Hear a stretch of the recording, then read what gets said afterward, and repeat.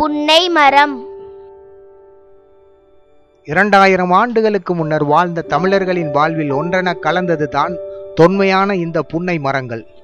அனைத்து வகை மண்களிலும் ஈரமான இடங்களிலும் வளரும் தன்மையுள்ள புன்னை மரங்கள் மணற்பாங்கான இடங்களிலும் செழித்து வளரும் தன்மை மிக்கவை. புன்னை மரங்களின் இலைகள் அளவில் பெரிதாக பசுமை வண்ணத்தில் பொலிவாக காணப்படும். இதன் பூக்கள் கொத்து கொத்தாக கண்களை கவரும் வண்ணம் அமைந்திருக்கும். அதிக சதைப்பற்றுடன் இருக்கும் புன்னை மர காய்கள் உருண்டை வடிவத்தில் காணப்படும். புன்னை மரத்தின் இலைகள் பூக்கள் காய்கள் மற்றும் மரப்பட்டைகள் அனைத்தும் சிறந்த மருத்துவ பயன்கள் தர வல்லவை.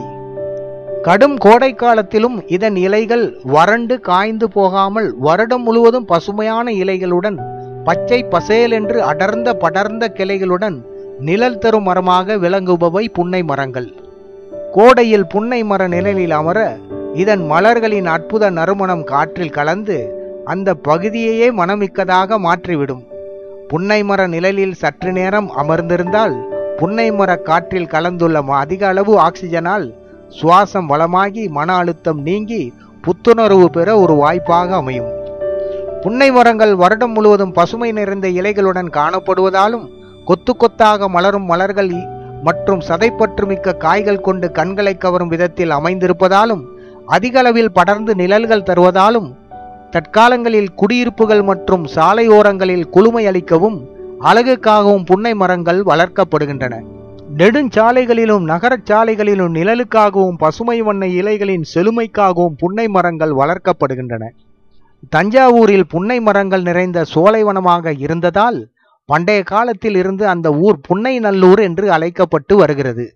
புன்னை மரம் கோயில்களில் உள்ளதே ஆயில்யன் நட்சத்திரத்தில் பிறந்தவர்கள் அந்த மரத்தை சுற்றி வந்து கட்டிப்பிடித்து தழுவும் போது அந்த மரத்தின் கதிர்வீச்சுக்கள் உடலில் படும் போது நோய்கள் குணமடைகிறது. முக்கியமாக பெண்களுக்கான இதய நோய்கள் மார்பக நோய்கள் குணமடைவதாக சொல்கிறார்கள். புன்னை மரம் வியாதிகளை போக்கும் அற்புத மரமாக விளங்குகிறது. உடலில் தோன்றும் சளி தலைவலி கண் சூடு வயிற்றுவலி மற்றும் வாத சர்ம வியாதிகளை போக்கும் மருந்தாகவும் உடலின் செயல்பாட்டை ஊக்கப்படுத்தி உடலுக்கு நன்மை தருவதாகவும் விளங்குகிறது. புன்னை மரத்தின் மற்றொரு பயன்பாடு இதன் கொட்டைகளில் இருந்து எடுக்கப்படும் எண்ணெய் ஆகும் முற்காலங்களில் மக்கள் வீடுகளில் விளக்கரிக்கவும் சாலைகளில் தெரு விளக்குகளிலும் இந்த எண்ணெயையே பயன்படுத்தி வந்தனர். மனிதர்களுக்கு இயற்கை தந்த அருட்கொடையாக திகழும் புன்னை மரம் மனதுக்கு புத்துணர்வு அளித்து வியாதிகளை போக்குவதோடு மட்டுமல்லாமல் பருவநிலையில் ஏற்பட போகும் மாறுபாடுகளை முன்கூட்டியே உணர்த்த வல்லவை. புன்னை மரத்தில் மலர்கள் அதிகளவில் பூத்து குலுங்கும் சமயத்தில் அவை உணர்த்துவது இன்னும் சில நாட்களில் நிச்சயம் மலைப்பொழிவு பொழிவு ஏற்படும். இதை மக்களுக்கு குறிப்பால் உணர்த்தவே அவை அந்த சமயங்களில் அதிக அளவில் பூக்கின்றன என்று கிராமங்களில் சொல்வர். புயல் அடித்தாலும் சாய்ந்திடாத மரமாகவும் பூச்சி கரையான்கள் அரிக்க முடியாத உறுதியான மரமாகவும் விளங்குவதால் புன்னை மரங்களை படகுகள் கட்டவும் வீடுகளில் மரச்சாமான்கள் செய்யவும் உபயோகிக்கின்றனர்.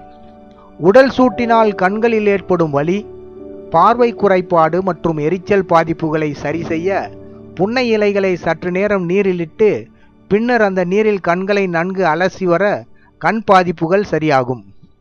புன்னை இலைகளை மையாக அரைத்து நெற்றியில் பற்று போல தடவி வர ஒற்றை தலைவலி மற்றும் தலை சுற்றல் பாதிப்புகள் விலகும். கோடை காலங்களில் உடலில் தோன்றும் கொப்புளங்கள் சொறி சிறங்கு மற்றும் சர்க்கரை பாதிப்பால் ஏற்படும் சிறு சிறு காயங்கள் போன்ற பாதிப்புகள் விலக புன்னை இலைகளை இரவில் நீரில் ஊற வைத்து மறுநாள் அந்த நீரில் குளித்து வர பாதிப்புகள் யாவும் உடலிலிருந்து விலகி மறையும். புன்னை மரத்தின் மலர்களை உலர்த்தி எடுத்து அரைத்த பின் அந்த கலவையை சிரங்குகளின் மேல் தடவி வர அரிப்பெடுத்த சிரங்குகள் விரைவில் ஆறிவிடும். புன்னை மலர்களை தூளாக்கி அந்த பொடியை தினமும் இருவேளை ஜுரம் வந்தவர்களுக்கு சாப்பிட கொடுக்க சாதாரண ஜுரமும் விலகிவிடும். டைபாய்டு ஜுரமும் குணமாகிவிடும். ஆர்த்ரைட்டிஸ் எனும் முடக்குவாத வியாதிக்கு புன்னை மரத்தின் காய்களில் உள்ள விதையை நன்கு உலர்த்தி அதில் சிறிது நீர் விட்டு கொதிக்க வைத்து வாத வியாதிகளின் பாதிப்புகள் உள்ள இடங்களில் பற்று போல தடவி வர உடலில் ஏற்பட்ட வாதவலி உள்ளிட்ட வாத பாதிப்புகள் விலகும். புன்னை இலைகள் மலர்கள் காய்கள் மற்றும் பட்டைகளை நன்கு உலர்த்தி அவற்றை அரைத்து தூளாக்கி வைத்துக்கொண்டு தினமும் காலையில் சாப்பிட்டு வர கை கால் மூட்டு வலி மற்றும் சரும பாதிப்புகள் நீங்கும். நச்சுக்கிருமிகளால் ஏற்படும் புண்கள் சொறி சிறங்கு போன்றவை விரைவில் ஆற புன்னை எண்ணெயை அவ்விடங்களில் தடவி வரலாம். சுற்றுச்சூழலுக்கு நன்மைகள் செய்யும் பயோஹாயில் புன்னை எண்ணெய். வயல்வெளிகள் மற்றும் தோட்டங்களில் போர் குழாய்கள் மூலம் நீரை இறைக்க பயன்படுத்தப்படும் மோட்டார் பம்புகளில் டீசலுக்கு பதில் இயற்கையாக தயாரித்த புன்னை ஆயிலை பயன்படுத்த நிறைய நன்மைகள் கிடைக்கிறது. இயற்கையான எண்ணெய் ஆகையால் சுற்றுச்சூழலுக்கு பாதிப்புகள் இல்லை. மூக்கையும் கண்களையும் மூடிக்கொள்ள வைக்கும் நெடியேற்றி எரிச்சல் தரும் டீசல் புகையின் மாசுகள் இதில் இல்லை. மாறாக நல்ல மனமும் கண்களுக்கு எரிச்சல் இல்லாத குறைந்த புகை மட்டுமே வெளியேறும். டீசலை விட மிக குறைந்த விலையால் கிடைப்பதால் பொருளாதார ரீதியாகவும் சிக்கனத்தை அளிக்க வல்லது புன்னை ஆயில். இப்போது புன்னை எண்ணெயை தயாரிப்பது எப்படி என்று பார்ப்போம். புன்னை மரத்தில் உள்ள பழங்களை பறித்து அவற்றை வெயிலில் காய வைத்து கொட்டைகளை சேகரித்து கொள்ள வேண்டும். கொட்டைகளை உடைத்து உள்ளே இருக்கும் பருப்பை பத்திரப்படுத்தி கொள்ள வேண்டும். இவற்றை வெயிலில் நன்கு காய வைத்து நாட்டு செக்கில் இட்டு ஆட்டினால் புன்னை எண்ணெய் கிடைக்கும்.